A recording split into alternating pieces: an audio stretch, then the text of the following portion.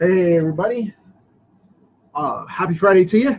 I'm going to be kicking out uh, the symbol from Rusty Gilligan. Uh, hang on just a minute uh, while I catch this up because I'm going to share it over with the page so we can all see and uh, everybody can join in. So bear with me just a second. As always, there we go. All right. Now we're nice and live. Hey, Miles. Um, as I said, this is going to be the symbol from Rusty Gilligan uh, over at Main Publishing. I'm going to grab a throat drop here. Um, I got this character uh, on loan from him for a little while, for like a few minutes for the card, whatnot, because he's bringing it back uh, in a uh, a tribute book that he's got going on right now, and I am also working on writing and penciling a mini series for him uh, with this character, and he's going to ink it, and we're going to bring it back. If you don't know Rusty's work, he's been in the comic industry forever. Um, check him out. You can find him at Rusty Web. You can find him as uh, Rusty Gilligan here on Facebook. You can find him on YouTube and uh, other places. His website, uh, Rusty Ink, and uh, he, he's pretty much all over the place. I've known the guy for oh decades now. I feel so old. Um, we've known each other for at least 20 years. It's been a long time, long, long time. And um, this character was a creator-owned property that he had, and and it actually appeared in a couple of Marvel comics uh, back in the day, and um, that would be the 90s, whenever he created it, and um, it crossed over into their books for a little while and you know made a couple of appearances kind of things. And then he had it at main publishing his major uh, publishing label and had the character appear there in his own comic book. And uh, like i said we're bringing him back. He's got a tribute book going on uh, for some charity stuff with, with, with the character featuring some old comics and uh, a couple of new pieces, you know, some reprints, and then with some new pieces in there, a new story uh, set in there.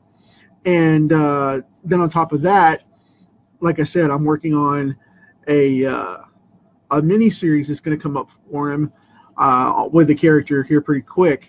And I, I don't know exactly how long it's going to be. I just started working on it, and we've been talking about working together for years, and we just haven't had the chance to and uh, we both got a little time in our schedule, so we knocked a slot in there, so uh, we could do that.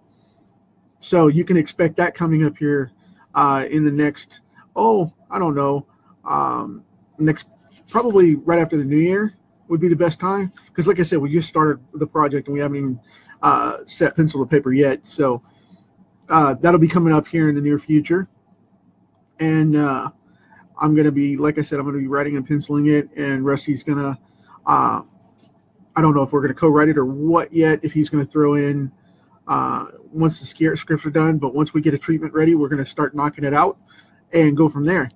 So that project is officially underway, and uh, this thing is freaking just out there, man. I love this guy.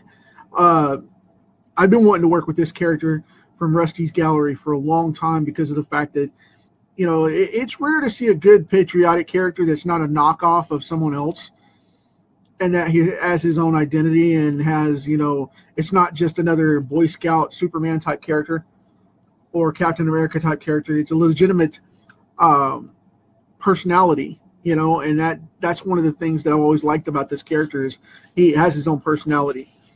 So, because uh, you know, he can be uh, whatever he needs to be at the time. He can be a hero, he can be a grunt, you know, he can be whatever he needs to be at the time to meet whatever challenges in front of him.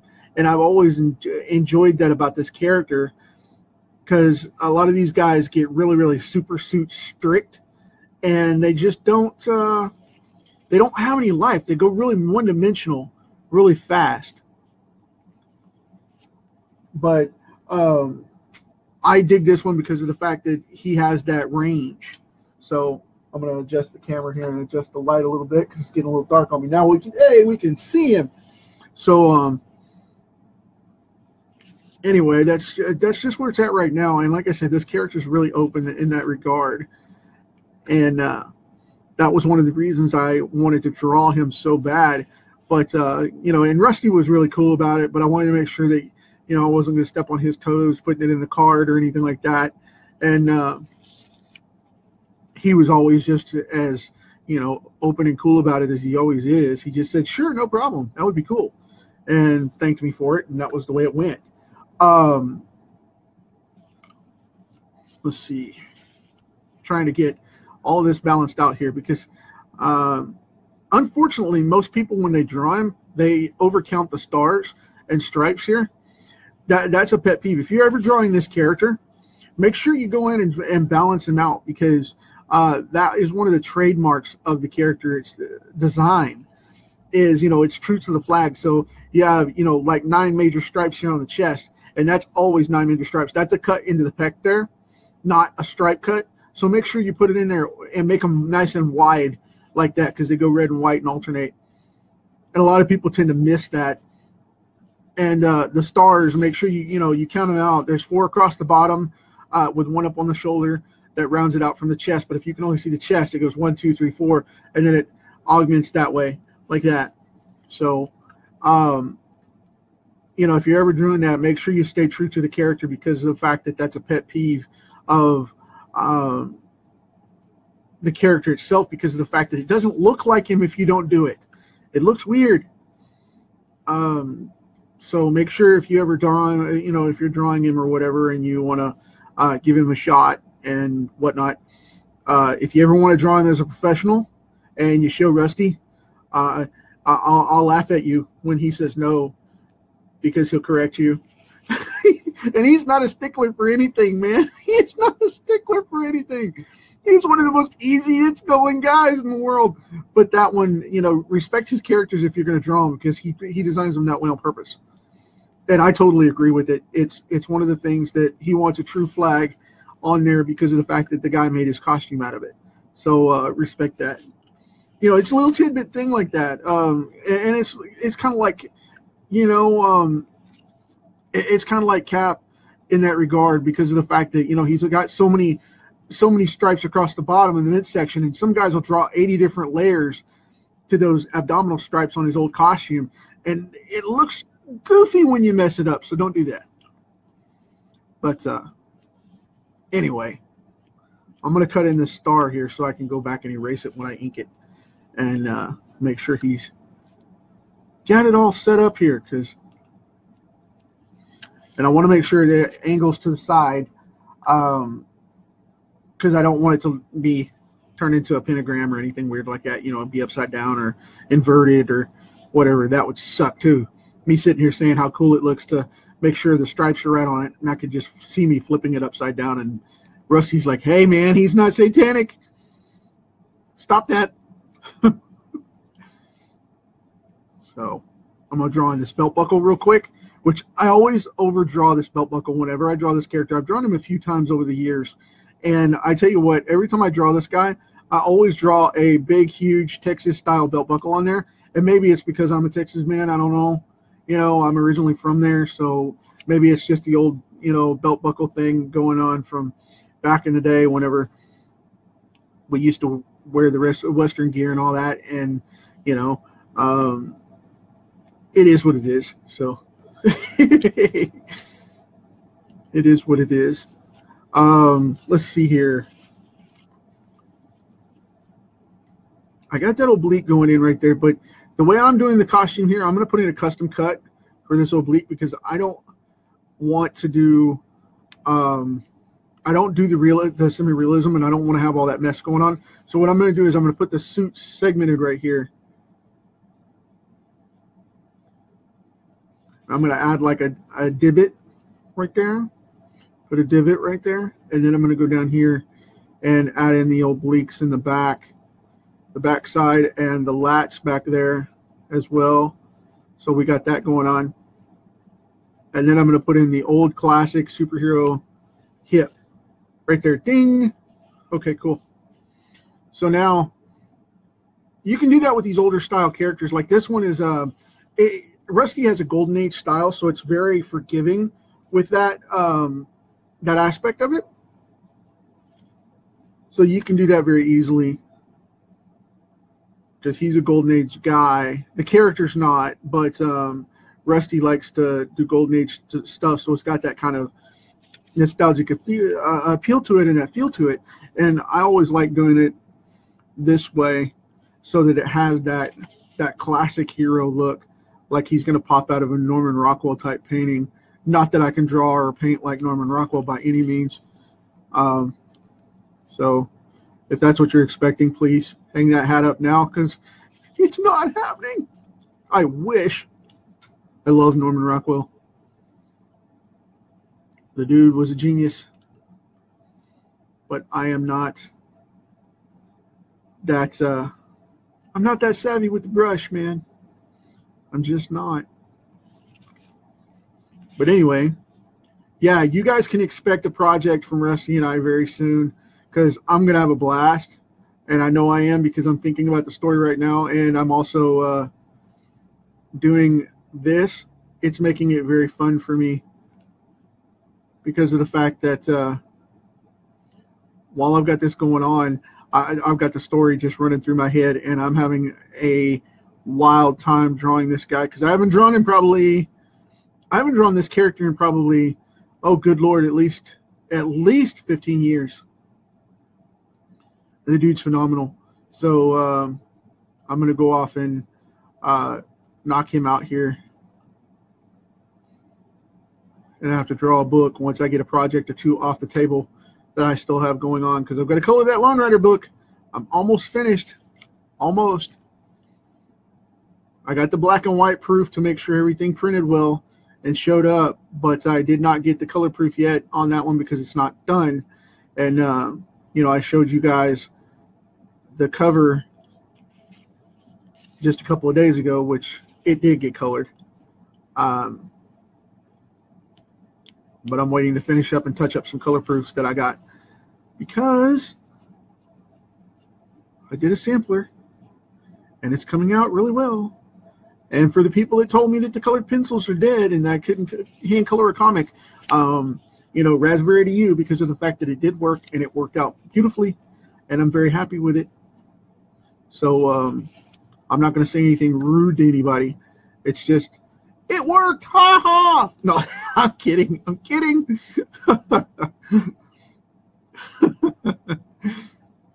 oh, that was funny.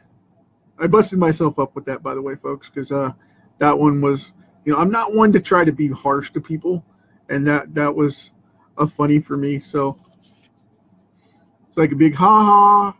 I did it anyway, and it worked. No, we're all good. We are all good.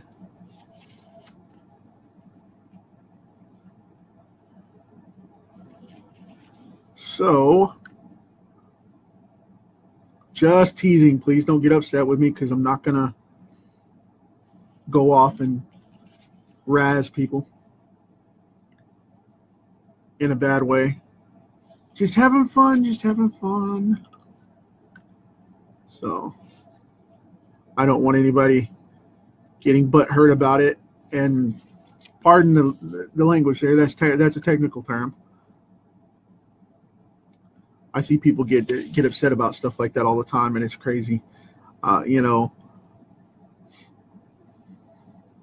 But it's like one guy told me the other day. You know, uh, I, I think it's funny because this one guy was telling me when I was checking around with my book and showing some readers and whatnot, and um, I have a select group of people that I let read my stuff before I put it out so that they could, you know, check it out and let me know if just have a second set of eyes on it or whatever. And uh, this one guy come up to me uh, just out of the blue, and uh, he happened to be in the group where I go to get to find uh, the people that I was gonna uh, we're gonna have uh, read the book. And he made this rude comment about me telling you know hey guys if you if you guys are on my reading list hit me up so that i can give you a copy of the book you know and show it and whatnot. And uh, i've got a book i want to have tested and next thing i hear is this guy chiming into my private my private uh, direct messages and he says well you know i just wanted to tell you man I, I think you're wasting your time with that because you know you're doing you're talking about doing multiple books right now and he said, doing multiple books one at a time, more than one at a time in a year, is uh, a waste of time and a complete waste of it. You're a uh, waste of your energy because you're spreading your content too thin and you're spreading yourself blah blah blah. And this isn't comics. This is for my my novels and my self help books and my marketing and such. And uh, I, have got you know I've got a three ton bestseller underneath my belt here, and I've got a couple of books and stuff and whatnot. And anyway, he comes along and tells me, well, you know, you can't do more than one book a year. And I said, really? I said, well, tell me where you, what your data is on it, and uh, let me know the title of your books. I would love to check them out. And turned out he hadn't even written one book, much less a bestseller or anything like that. And he's giving out that kind of advice in a writing a writing group. And um, you know, I, I just made an adamant point to uh, avoid him now because of that. Yeah, don't stick your nose where it doesn't belong. You know what I mean? but that's just like the pencil thing in the comic industry. Everybody was telling me, don't use pencils because they're they're horrible. Don't use pencils. You'll never make your book complete and blah blah blah. And it won't it won't transfer and it won't uh, it, it won't uh, reproduce and da da da da da da. And I was just like, it won't, it won't, it won't, it won't, it won't. Well, guess what? It did. It did just fine. So for those waiting for the comic book, get out there and get it when it comes out because uh, that's going to be awesome. That's going to be a fun one. I am loving this book. And I'm really digging on this character now because I get to do this character too. But I got to get uh, a mini comic that I still owe uh, finished up because I got a little under the weather and uh, didn't get that done. And I need to get I need to get on that for Ron my boy Ron, he's going to be checking me out here. Yeah, he's always on the show. I know he is.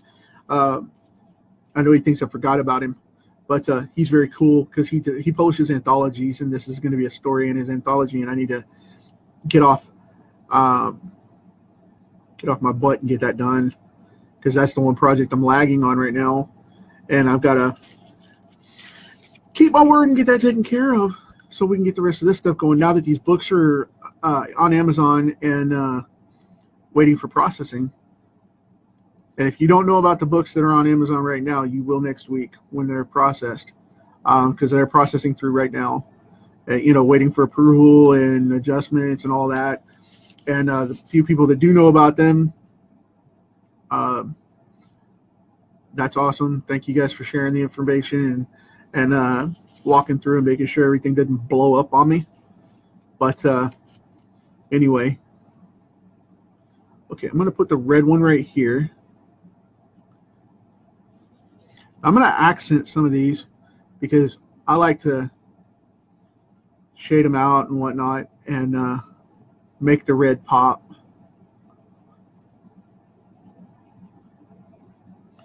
Because if it's got the black contrasting within the stripe itself, it's going to make it look a, a little more um, a little more dynamic as we go along. These will be red when they're colored. And like I said, the reason I'm doing that is to add a little bit of a pop to it.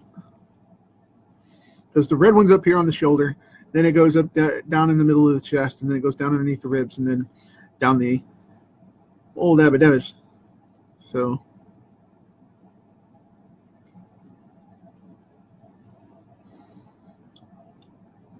and depending on who draws it, there's normally um, nine of these, nine of these sections, but some people draw them with seven. I like to draw them with nine, and I'm going to leave the blue open. Um, other than this crease right here for the pec. I know a lot of people like to black out the the blue side, but I'm not gonna. Not entirely, because I want it to be a bright blue, vibrant piece.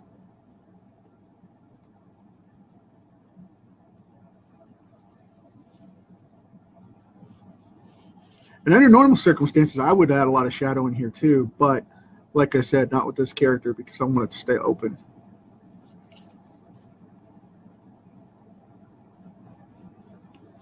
Because this whole side is blue.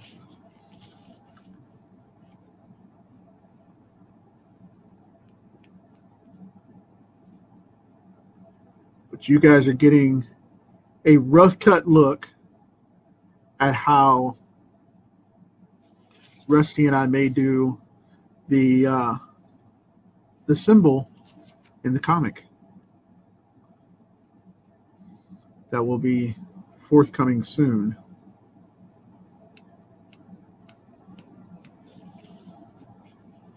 So, and with this glove being red, I'm going to go over the these gauntlets.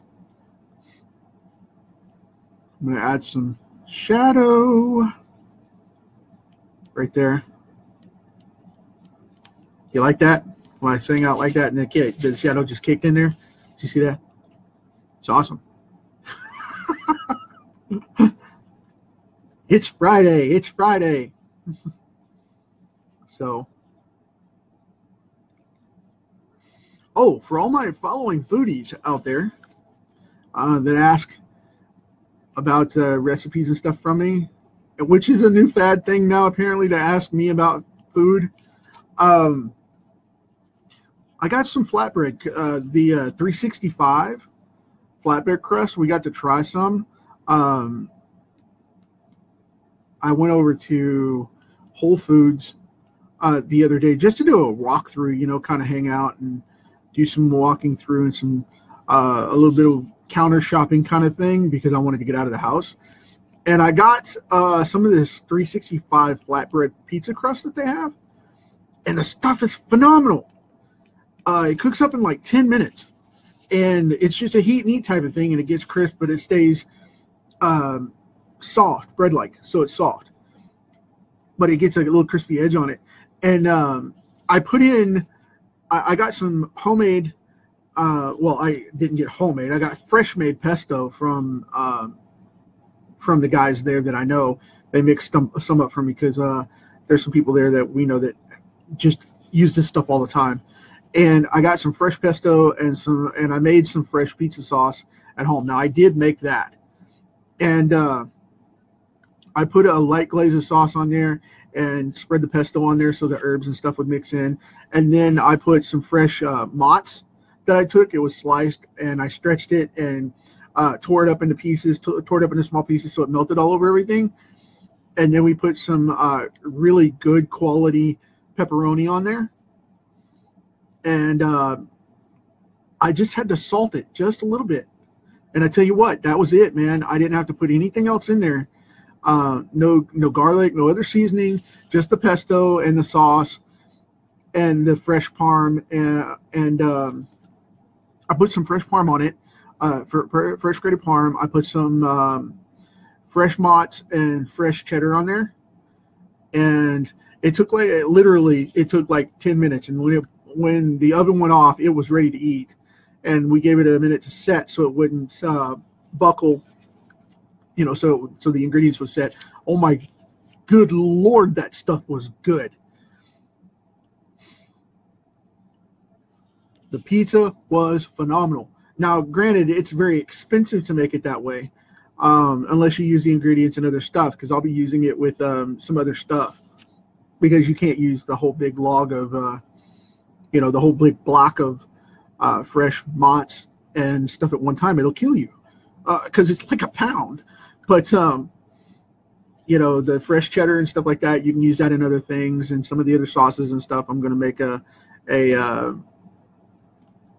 a parm for uh, some other stuff, you know. So I got that block going on and not wasted, and we'll use it for a while. But uh, yeah, if you're into food and stuff, and you want something, you want some phenomenal pizza that tastes totally different than anything that you can get at um, you know a pizza place, and you're willing to spend a little money for it and do some like nice in-home dining, I tell you what, that that is mind blowing, mind blowing. I'm telling you, it is good stuff. And uh, we made two of them, and because two come in the pack, so we cooked them both.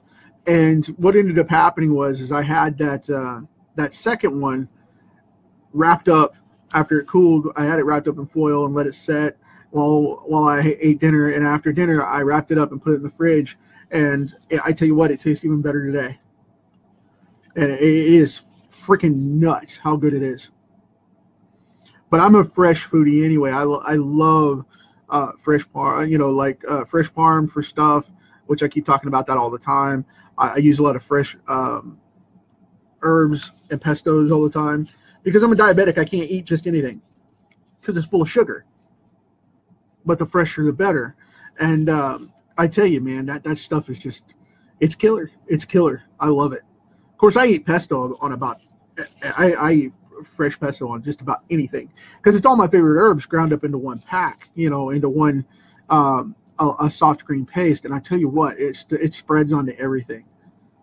But um, you know, sandwiches, um, just about anything you want. I do that with uh, green avocado sauce too. I keep that handy pretty well too because of the fact that I love that stuff. And I wouldn't eat guacamole forever. I would never eat guacamole, but now I finally eat guacamole. I tell you what, man, I just had a um it, it got the the my taste buds, my palate would always ping off for the um the tang or the bitterness right when you eat an avocado. And uh, I would always catch that sour in my palate and I just couldn't eat it, man just could not do it. And everybody was trying to tell me, you know, how smooth and creamy and blah blah blah it is, and it's great and da da da da. And uh, you know, with my family, I'm trying to get over uh, a risk of gallbladder problems because of uh, not that I'm going to lay out my whole medical history here, but you know, my grandmother lost her gallbladder, and um, you know, uh, my mom and my brother are looking at having trouble with theirs and blah blah blah. And I'm just, eh, I don't want that. And avocados are really really good for absorbing a lot a lot of those problems and putting the right fatty acids in your system to uh, absorb that so you don't get gallstones and end up losing your losing or killing your gallbladder and uh, that's one of those things i wanted to fix preemptively i'm not having any trouble with it thank goodness but you know but uh, I, I eat a lot of healthier foods because of that choice of preemptively striking against negatives that i have in my food system and you know um, if it comes out of a box, you pretty much should stay away from it. And I'm wholeheartedly addicted to cereals, not sweet cereals necessarily, just cereals. Period. I love cereals, and um, I have to counter that so that I don't kill myself. So, uh, you know, no more cards. Sorry, this is the last one because Brad Linders died because he, he ate too much cereal and didn't take care of himself. So, uh, yeah, it's that kind of thing, man. And you guys that know me, you know I wear this. You know, I'm I'm a person that keeps pretty private, but as I go on and get more and more information out there, it's just, you know, I've decided I've hit an age to where I'm okay.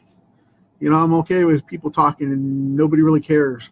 And uh, you know, if you're if you're a foodie like me, try that out. Try the pizza, and uh, you know, stay healthy. Get into that stuff because there's so much more flavor in that food too. And that's the cool thing about it is, is I can taste way more stuff now because of the fact that I've cut out all that junk, you know.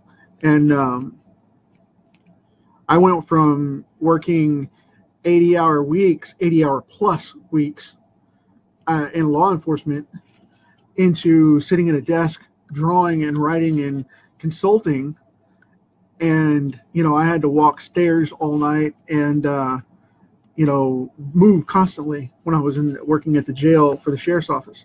And I tell you what, it, it's a totally different ball game in comparison to what I do now. And I might walk five thousand steps a day now. You know, I mean, for most people that's a lot, but for me, that's about a third, maybe, of what I was originally doing. So that's one of those things you got to stay in shape and you got to get out there and eat right and do the exercise and do the right thing, you know. And uh, people ask me how I stay in shape and work so so many hours. It's because I put in the time every morning to do my workout, you know, seven days a week, just like everybody else. One foot in front of the other. That's how. But uh, anyway. Gonna put in this shadow right here.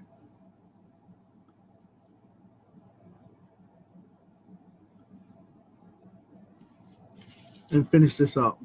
So I know we're hanging out and whatnot, but uh, I'm going to finish this card up. Now, I know you guys have been watching over on the YouTube channel too. I've been getting a lot of requests to post new stuff. So uh, I'm doing that uh, this weekend as well as releasing these four books. And I am not kidding. I, I am releasing four full fledged self help books that I've been working on the last couple weeks. And uh, I wrote them last weekend or weekend before last, and I did the edits last week. Then I got the approvals for the covers, got those in place uh, which I designed myself, and uh, got some feedback this week from people that I had read them, and uh, now I'm going to be posting those on uh, Amazon. They're getting approved as we speak. So once they're all out there, you guys will know because I'll start promoting about them. and don't worry, it's not going to be a buy my stuff campaign. It's just going to be, you know, uh, notification of say, hey, you know, here they are. If you like them, cool. That kind of thing. I don't really push a lot. I don't have to. You guys know where my stuff is when you want it.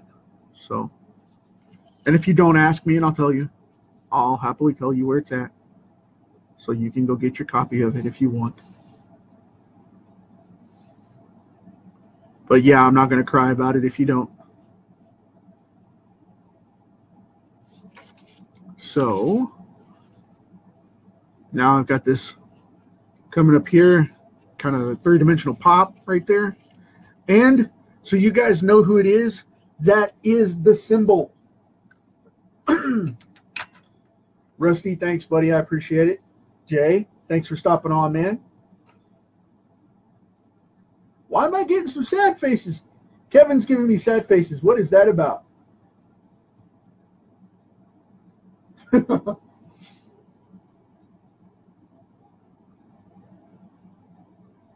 Oh man. So uh uh yeah. that sidetracked me, sorry. But um yeah, very cool stuff. We got him knocked out here. I'm gonna ink him up and color him. Um we're gonna get that we're gonna get together and get that that book out for you guys. And uh, like I said, we're probably gonna look at a mini series. That'll be the fastest way. But um anyway, I appreciate it. Have a great weekend. I will see you guys tomorrow with another card um, I don't know which one I'm going to do, either Saturday or Sunday, just to give you guys a heads up. I don't know what I'm going to do one day, but but one of the two days I'm going to do a Savage Dragon. Uh, I've been getting requests for that, and just wanted to throw it out there. I am going to be doing the Savage Dragon card uh, that everybody keeps requesting me. So, um, but uh, anyway, that's it. Say hi, be kind, uh, smile at somebody, walk up and shake their hand, do something nice for them, uh, be civil. You know, it's going to be a lot cooler place than you got it when you when you leave it if you do. So talk to you guys tomorrow. Take care.